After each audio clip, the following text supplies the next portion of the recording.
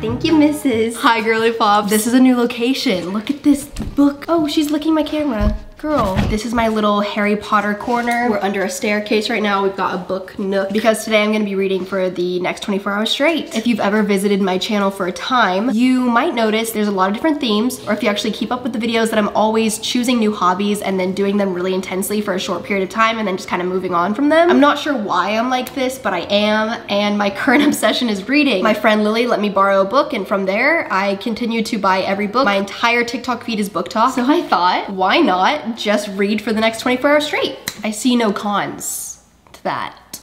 You trying to say hello to Spot? So let's go get some caffeine and get the books I'm gonna read. I didn't make eye contact when he told me to have a good day. I think I've been reading too many books, guys. Anyways, it's 4 p.m. and I'm very tired, but we're about to go buy the books that I'm about to read for the next 24 hours straight. Straight! For the next 24 hours straight! I'm not scared at all. No, I'm actually so excited to start reading. Okay, we're at my favorite place ever, Barnes & Noble. I really don't know how many I should buy because what if I fly through four books? They didn't have the one book that I was gonna start first, which was Malibu Rising. I still got these four books and they're all pretty thick. The Invisible Life of Addie LaRue, Six of Crows. This is part of a series. I think it's a fantasy, which I haven't read fantasy since like fourth grade, I feel like. I got Verity and Ugly Love. Let's go home and get this party freaking started. I'm so excited. I posted a fun little book haul on TikTok. You guys kindly let me know that there's actually an entire trilogy I have to read before I'll understand Six of Crows, so that's pretty unfortunate. That information is actually false. You can read the Six of Crows duology on its own. Yes, my hair is purple. That's for next week. Please ignore. Oh, what? I thought this was a sticker. It's like on the book. Should we start? What time is it? 5.17. I think we should start exactly at 5.30. The first book I'm going to read Ugly Love by Colleen Hoover.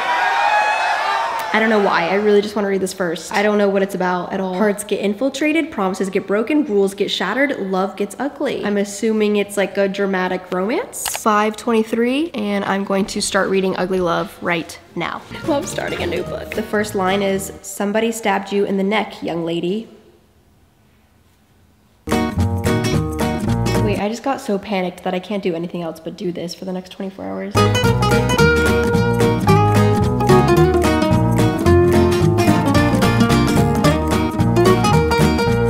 He could have sat anywhere. He put his boot right on my shoulder.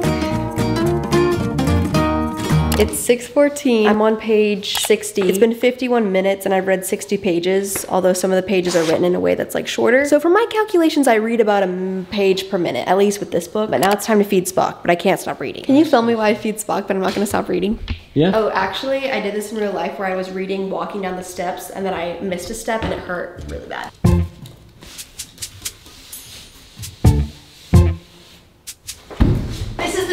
This is this is the step I missed. There's no way that was real.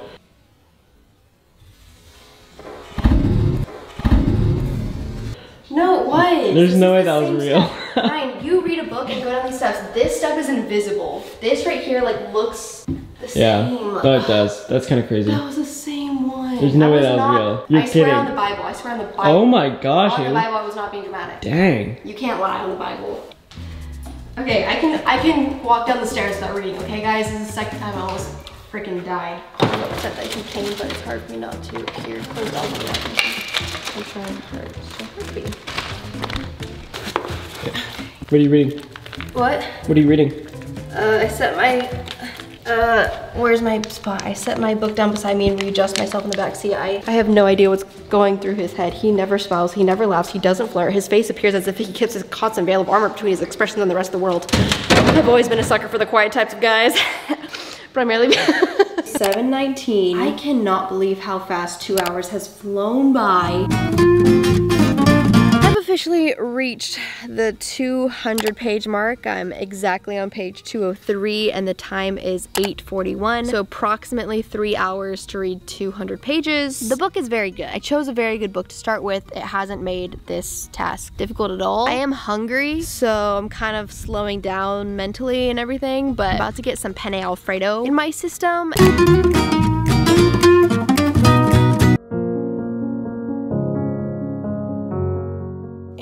Here is my reaction to the last few chapters of the book. Watching myself cry while reading a book is possibly the funniest thing I've ever watched myself do.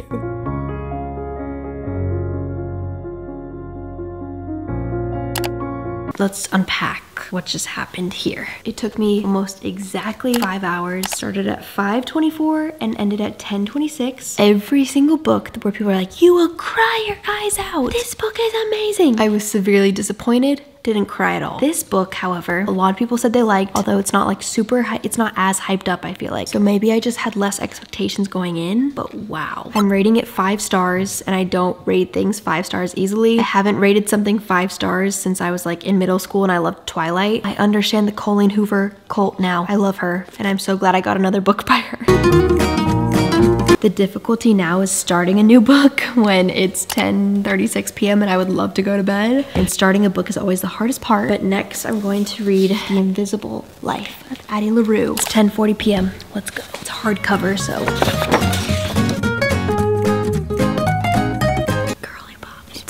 11 p.m. And it's crazy like not looking at your phone before nighttime. How your own circadian rhythm and not looking at blue light and all that actually makes you tired by the time the sun goes down. I'm so much more tired than usual. This book is like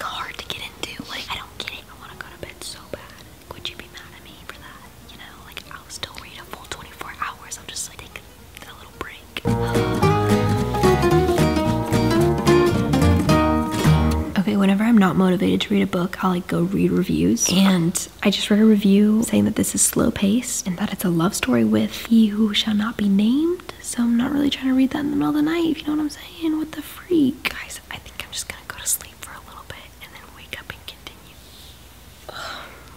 Good night. Good morning. I also didn't realize I an eyelash appointment today. And from the lash appointment on, I'll read straight. Like I won't take any more breaks. Starting at 8 a.m. exactly. Two and a half hours. I've chosen the slowest book on earth to read for this challenge. This challenge, I should have specifically chosen fast-paced, engaging books. Two hours reading this book flew by, while two hours reading this, I've read half as many pages. I'm on page 100. The plot has not thickened, it has not sped along, so I'm considering dropping it and starting, what's it called? Verity, Guys, I'm so tired. My brain is mush. The other Colleen Hoover book I got. Should I just read Twilight again? How about that? Bro. I just feel like I might have to scroll on BookTok and see what else I should get from Barnes & Noble.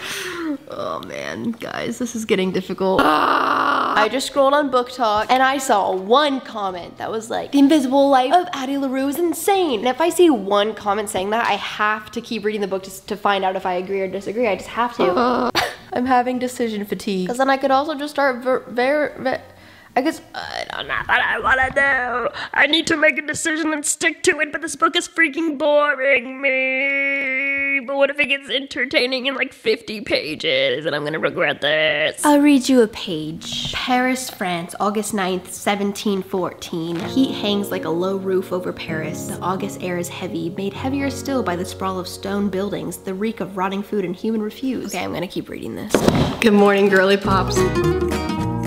Today is a very exciting day because today is the day that I'm going to be reading for 16 consecutive hours. I read for five hours straight. I got three hours in, forgot I had an appointment. And from there, I was like, okay, I need to do a crazy amount of hours consecutively or else this video is not impressive or a challenge at all. So I'm starting at around 9.45 a.m., which would mean in 16 hours, that would be 1.45 a.m., I believe. Also today, we're starting with Six of Crows because yes, I'm not going to finish The Invisible Life of Addie LaRue in this video. I will finish it. A lot of people are saying that they think it'll be a classic in a few hundred years, which would be really cool. It's right about to be 9.45, so let's start.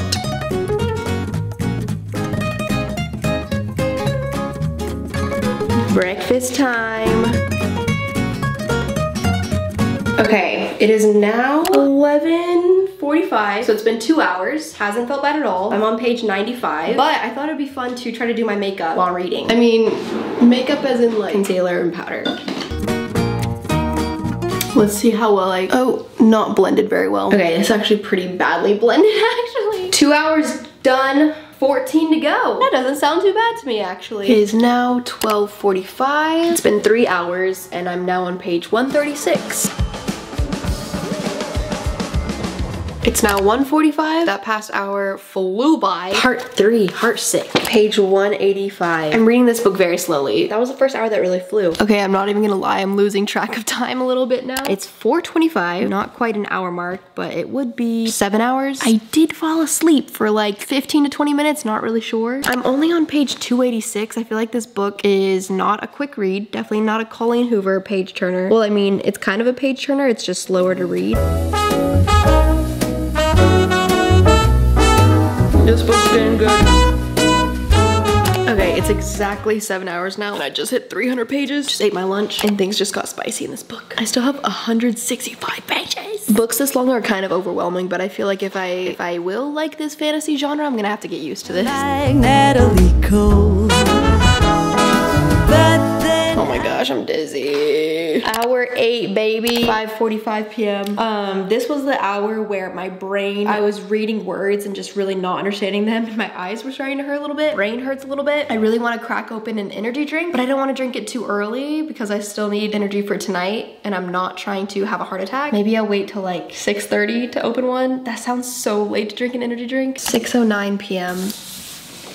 Okay, fine, I'll admit it. My brain hurts. My head hurts in like a funny way, like in a I've been trying to focus for over eight hours type of way, not like a headache type of way. It's very weird. Also, my sense of time or reality is very off. Like today is Saturday, and I just was like, that just doesn't feel real. Anyway, page 361, nine hours complete. I just hit 400 pages and this book just got really good at 400 pages. But I figured I could be getting a tan. Ever thought about that? I didn't. I'm getting my hair done like a purpley color in my next video. So subscribe so you can see that. Turn on post noties. I have not asked y'all to do that in a really long time. 7 p.m. energy drink time.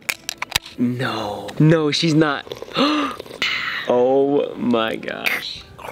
I can read out loud for y'all. Let's see how many words you understand from the Grishaverse. Kaz had considered trying to eavesdrop on Matthias and Brum in the ballroom, but he didn't want to lose sight of Nina when there were so many drüskelle around. See it so much. I know eavesdrop. Done. What time is it? 8.12. That was a thickie. Book number two done. What the crap balls. Sorry for my explicit expletives. What the freak? What the freak? What the freak? This isn't gonna be a book review video, but I'm gonna give this. I don't know. I don't freaking. Okay, I'm gonna be. I'm giving it a four out of five. Okay, it's 8:13. I've read for nearly 11 hours straight. This book took so long to read, bro. This was my reaction to like the last four chapters. Let's start our last book. What the frick, bro? This challenge has strange side effects. This is me discovering that Verity is actually a thriller, and if you know me, I am a very sensitive soul, especially when it comes to nighttime. Like I've said previously, I hate nighttime, and I was going to be way too scared out of my mind. I did read this after though, and I rated it five out of five. Totally recommend. Okay, girly pops, we've run into a little bit of a situation. I read the first chapter, um, so then I read the back. This is very much too dark for me to read in the middle of the night. So I was like, okay, there's a few options here. Barnes and Nobles have closed. Target only sells Nora Roberts. That lady has written hundreds of romances. um, so my only other option is I can call Lily, the girl who started this book obsession by lending me a book, and see what kind of like happy romance she has. And I could go drive to her place, pick it up, come back. And this will mean that I'm gonna have to stay up later, like maybe 3 to 4 a.m. But you know, I'm willing to do that. So let's call Lily. Let's see what you got. I'm trying to think. I feel like 28 Summers. I really Yeah. like this book. That's good. That's perfect. Yay! Thank you so much. Okay, I'm gonna drive over there and pick them up. Okay, bye. Here we go, baby. Okay, my eyes were definitely a little blurry at first. Like, you know, when you are on TikTok for hours and then you look up and everything's a little blurry. And I have that pressure right here behind my eyes. It's now 9.44. I just got home with the two books in hand. Oh, let's discuss inside. I look rough. Okay, I'm gonna make a coffee. Okay, we got our coffee, we got our books, it's 10 p.m. Let's decide what we should read. 28 Summers by Elin Hin Hilderbrand. I just got distracted by the smell of farts. You're farting. I'm not. You've got to be. I'm not. Are you farting, Spock? Is it you? And then we have the proposal, Jasmine Guillory. And which one do you think is more cheesy? Take a guess, take a guess. Yeah, this one's probably more cheesy. So I looked them both up on Goodreads and I'm just gonna insert the charts above these two books. This one is definitely leaning on the three stars while this one has mostly five stars. But this one's like so much thicker. Lily did read this one and said it was pretty cheesy. What do you think, Ryan? I think she choose the better one. Okay, let's read 28 Summers by Elin Hilderbrand. I washed my face. It is exactly 10 p.m. Let's get started. It's 11 p.m. I'm on page 58. I really like Elin Hilderbrand books. It is now midnight. It's been two hours of reading, which total is uh 13 hours. Wait, no, that'd mean I only have three left. Yeah, I only have three left. Only three more hours. Let's go. I'm on page 116. I'm not bored or excited. So at this point, something strange started happening. I found a gnat in my bra, and then I continued to see more and more gnats, and I was absolutely disgusted. So I moved. It's 1 a.m. I'm on page 156, and I'm so bored. Nothing is happening. Also, I want to shower so bad because of those bugs, and I hate being the only one awake. There's like noises and stuff, and I look more and more tired as the time goes on. It's 2 a.m. and I'm on page 211. I feel like I'm not making much progress, and sometimes the words just don't make any sense. My face. It's 3 a.m. I have officially read 16 hours, and I made it to page 250. This book